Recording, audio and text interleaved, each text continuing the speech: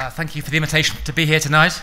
I'm very interested to talk about uh, the new public social science of big data. And I speak as someone who's not an expert in big data. I can't, I, am fascinated by the world around us. I'm not a great expert in computer science. Um, but I have, over a number of years, been very interested in how the social sciences are being transformed by the challenge of big data. And I want to try and explore that tonight with a simple argument, really, that there's been a, a sea change in the nature of social science thinking, and that, like it or not, and many social scientists don't particularly like it, uh, we are now seeing a form of, a form of data-driven analysis, which is really shaping um, the way we do sociology. I want to begin by taking you back to uh, something I wrote uh, 10 years ago, well, nine years ago. Um, a famous paper, and in some, some people, an infamous paper, um, I wrote with my colleague Roger Burrows called The Coming Crisis of Empirical Sociology. And the argument in this paper was a simple one. It was to say that most social scientists, when they do research, do two or three things. And the two or three things they do is they interview people, or they do surveys and get people to fill in questionnaires. A few people also do ethnography, but that's not very common these days. And my argument was this that those methods have been around in the social sciences for decades, and they haven't actually transformed that much. And yet, over the last 20 or 30 years, we have seen the proliferation of digital data. And I argued um, that sociologists had to take this world seriously. We couldn't just afford to sit on the margins of this world. We had to try and get our hands dirty and think about how we can use these kinds of data um, for our own purposes. Now, this was a very controversial argument. Um, one of the referees uh, of the paper said it was the, it was the worst paper he'd ever read. Um, fortunately, the other referee liked it, and it in indicated very much the flavour of the dispute about whether social scientists should use this data or just steer clear of it. Um, and there are many critical comments made about the problems of you know, big data, digital data. Um, uh, so, for instance, the fact that much uh, data does not does not contain any information on motives of people, on on the hermeneutic dimension of that of life. Whereas if you interview people, you can ask at length why they do things, but you you can't usually do that using big data. All you get are traces of people's credit card histories or telephone histories or Google searches or whatever it is. Similarly, it's often said that uh, you can't really establish causal links using this data. You can do fantastic patterns, you can explore you know, networks between all sorts of um, connections or practices or transactions, but you can't really understand what is causing what in the way which you conventionally can using various kinds of modeling techniques in social sciences. So um, it's quite a common critique of big data to say that it, you know, it looks very interesting, but have we actually been able to prove something called something else in a non, a non fairly trite way, in a deep way? Similarly, uh, the world of big data is not a neutral world. It's not a neutral world because um, big data is only generated if you are part of the community of big data users. If you've got a mobile phone or if you're on the internet, and this is a world which is skewed towards the rich and powerful. So if you rely upon big data, then there's a kind of inherent power bias in the sources you use. Um, and so I was actually the seminar a few days ago, and they said, well, isn't, isn't the idea of big data another example of the way that the north of the globe has more power than the south of the globe, where there's an informal economy, where, where things aren't recorded, and where they, these activities are invisible to um, transactions. Also, um, and this is something I'm going to talk about in a minute, one of the issues we have in social science, if you take a kind of Thomas Kuhn approach to how social science develops, you need exemplars of good studies which show how you can use big data in an interesting way. And it can be argued we don't yet have many good exemplars of how the deployment of social science data or big data rather, can actually improve our understanding and our analysis of social world. So you can see the stakes, and I think really this, this is a very serious debate because the future of the social sciences is at stake. You can argue the 20th century was the rise of the social sciences. The, all, in, in most nations, the social sciences become massively more powerful as the 20th century advances.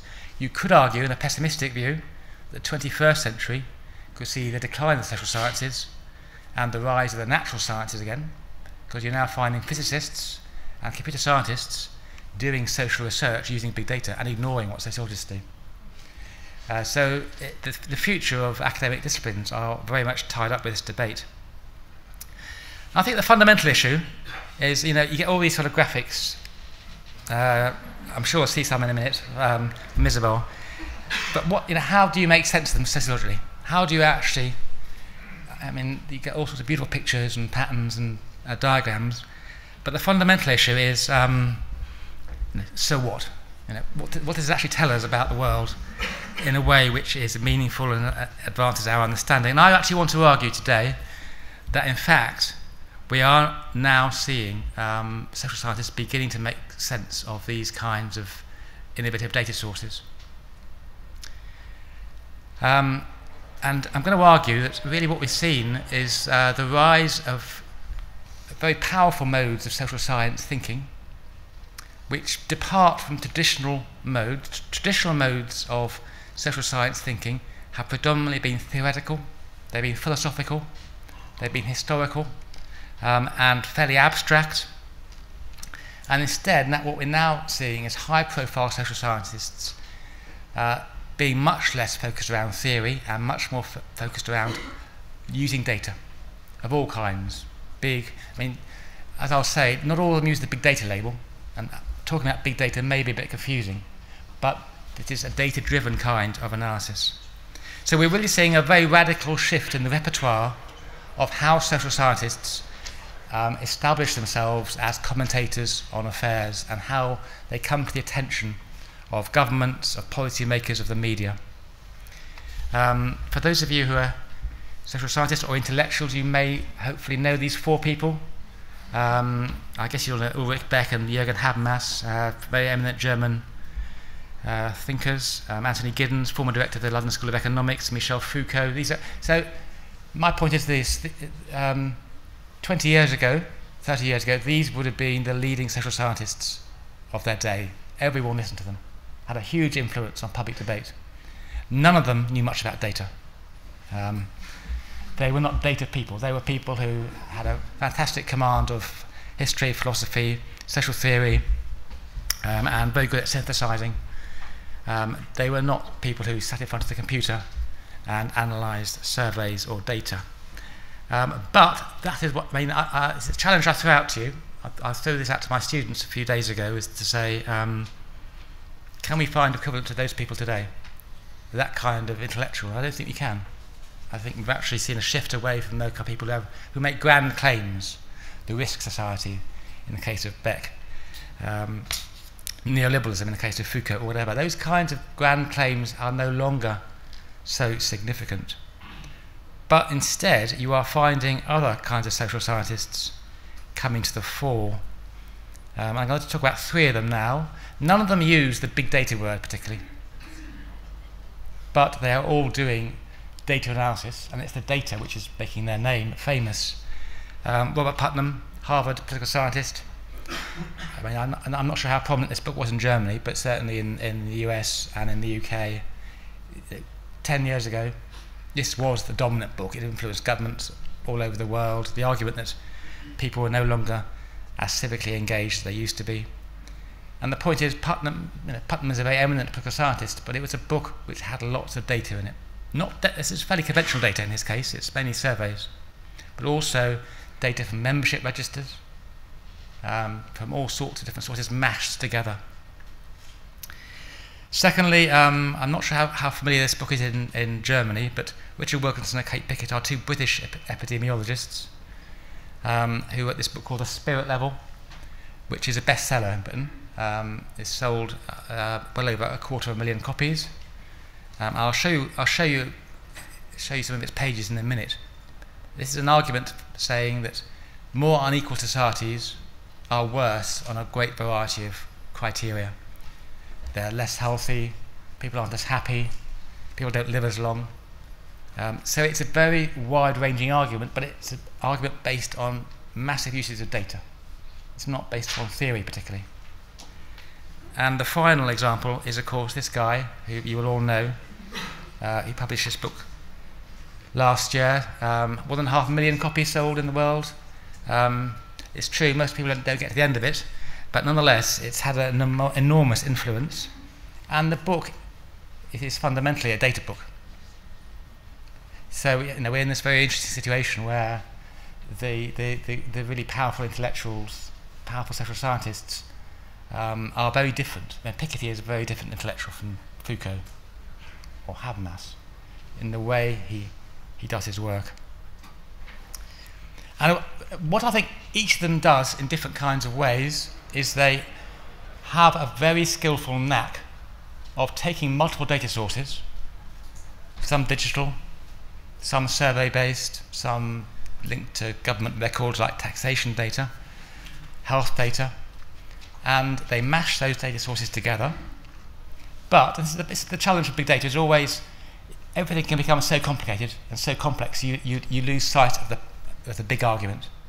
And what they do is they have a way of visualizing basically one thing which they keep banging home time and again.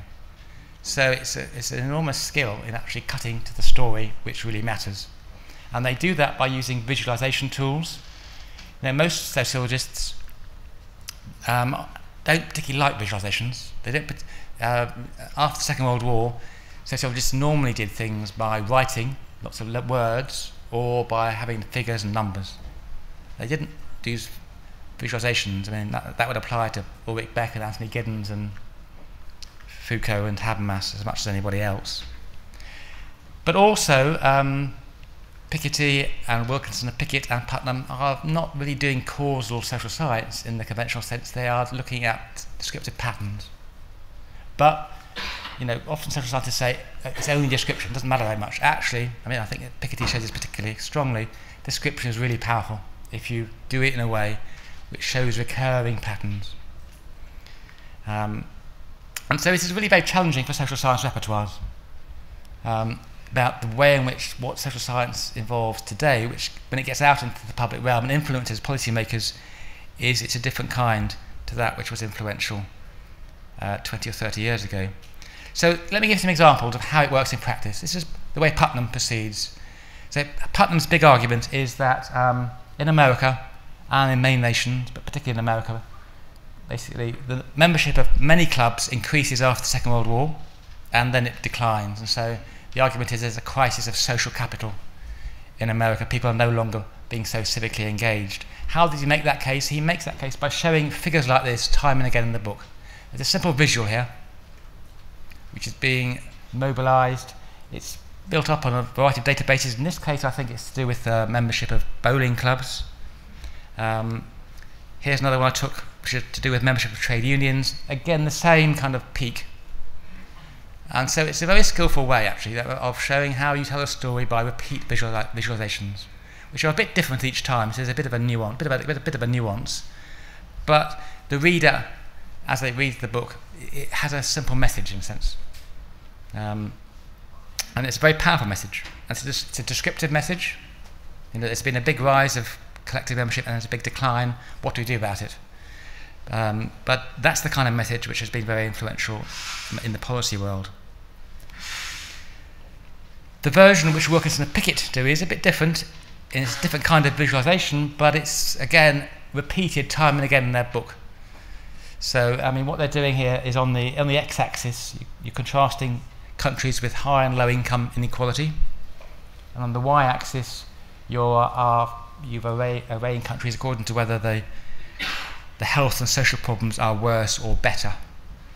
Um, and the point is that um, when there's high levels of income inequality, as there is particularly in the USA, um, that's when these measures on the left are, are the worst. So even though USA is a very rich country in general, and on average, it's a very unequal country too, and therefore generally health and social problems are worse. On the other hand, if you look at Japan, which has a low income inequality, then the uh, the social problems much better. And there's a fairly straightforward line. There's about 20 countries on the line, and it shows there's a kind of there's a kind of correlation there, a kind of pattern at work. And this basic graphic is produced, reproduced time and again in their book. Here's another example. Um, income inequality on the x-axis, and then this time we got mental illness, and again USA is in the right, top right-hand corner, um, and Japan is on the bottom left-hand corner. So it's kind of just repeating itself, but by keeping on uh, blasting in with these same kind of graphics, you get the message. Uh, and it's a very skillful way of finding a crisp way of visualizing patterns. Um, what you can also do, if you have this technique, is you can then, occasionally you can change it. You can kind of vary it while sticking to the same repertoire. So in this case, the x-axis is the gross national income per head. Uh, and the point is this, um, in this case, I mean, what Wilkinson and Piketty are arguing is, that, is actually to say what matters is inequality, not income. So income shouldn't be so significantly linked in to um, whether you're happy or not, and it's not. So New Zealand and Norway have the same levels of happiness, even though they have very different levels of prosperity. So this is an argument against classic neo classical e economics arguments that the main thing is to have a prosperous economy. But I hope you see the point here. It's a very effective use of visualization, which are repeated but then kind of tweaked a bit to kind of make their message. And this approach really reaches its kind of its its apogee with Piketty's work, um, because Piketty's work, 650 pages or whatever it is, is littered with versions of this figure, um, and it's so it's the opposite of uh, Putnam. Putnam was the mountain, uh, and Piketty is the valley. Um, it's basically it's the story is uh, in this case it's to do with the proportion of um, the top percentile in the total income. So the higher this higher this line, it means the more unequal it is, the more the, the top one percent have the lion's share of the national income. And the argument is obviously in the Victorian period before the First World War, highly unequal. The top one percent had a high proportion of the national income that declines into the middle years of the 20th century, but it's rising again. And it's now, we're, we're now moving back towards the inequality of the 19th century. Um, it's a very crisp way of showing that pattern. Again, he's using a, a very, uh, and uh, Piketty is also important in terms of the big data argument because um, I mean, he never uses the word big data as far as I know, but actually he is using big data. Um, he is, he's made this important argument that you, you can't use household surveys to ask about income because if you ask people how much do you earn, they don't tell you realistically. Um, yeah, particularly if you're at the top end, you tend not to be honest about it. But if you, and he therefore says, you've got to use taxation data. Um, obviously, people don't always exactly tell the truth with taxation data either, but the point is this, it, um, the survey company never comes back and checks and say you tick the wrong box, whereas taxation people can. So you're more likely to think I better give my, uh, my correct income. And once you're into the world of um, taxation data, this is administrative data, huge databases, and there's a potential for using forms of digital big data in these kinds of analyses. So he's now developing, well, he has been developing with his colleagues the World Top Incomes Database, which is a kind of big data database. So here again, uh, here's the U shape, and here's another version of the U shape, which is a, done a bit differently. And I, I think it's again it's a, it's a lovely way of representing social change. So here he's got this very clever idea of looking at the proportion of capital, assets, if you like, wealth, as a, as a percentage of the national income. And his, so his argument is in, up until the First World War, about 600, there's about 600% of the national income was, was, was, was stored in the form of various kinds of capital, housing, land, savings, investments and such like. That rapidly declines in the middle years of the 20th century as uh, partly to do with the effect of war, partly to do with redistribution. And then uh, it's been rising again in the more recent period. And then what he does, again, this is rather like Wilkinson and Pickett, same U shape here and the black line. Um, but what he does is he, um, inter he interjects that with the line with the white squares, which is the rate of growth, and this becomes part of his argument that actually um, the issue here is that uh, the rate of growth tends to be less than the rate of return, um, and there, therefore there's always a tendency for capital to the growth of capital, the growth of wealth to exceed the growth rate in the economy. So he's making an argument through a clever use of visuals, which are the same but slightly tweaking each time. And this links into his famous kind of R is greater than G argument. So this is really interesting. I mean, if you know, if you go back to Karl Marx, Weber, Durkheim, um, all the great social theorists until the last few years, none of them used visualizations. Yet these three, I would say, certainly in the British context, those three writers have been the most influential in policy terms, in shaping debates in the social sciences, and they're doing it by a very skillful use of data. Um, and I think it's worth us bringing out the skill involved here. It is not, it, the, the skill is about not getting too stuck into the details of the data. It's about standing back and finding a technique of crisp, crisply summarizing one trend again and again and again. So it is in many respects, it's, it's a kind of intuitive historical hermeneutic approach to data.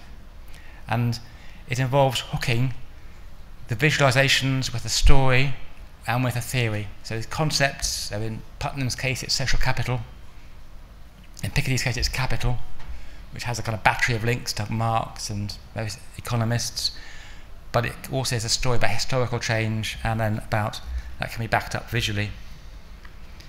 Um, so in a way, although I mean, and, and also uh, actually didn't say this in the slide, they're also interested because they're also very political in certain ways. I mean, they're all making political arguments. Um, Wilkinson and Pickett very clearly, you know, uh, and they make no bones about this, uh, very left wing, very socialist, trying to show that inequality is a bad thing. Piketty, similarly, um, they're also interestingly sort of makes, makes it clear he's not a Marxist, but he's obviously on the left. Putnam, uh, more of a kind of, um, I guess, a, a, liberal Democrat, American style, communita communitarian.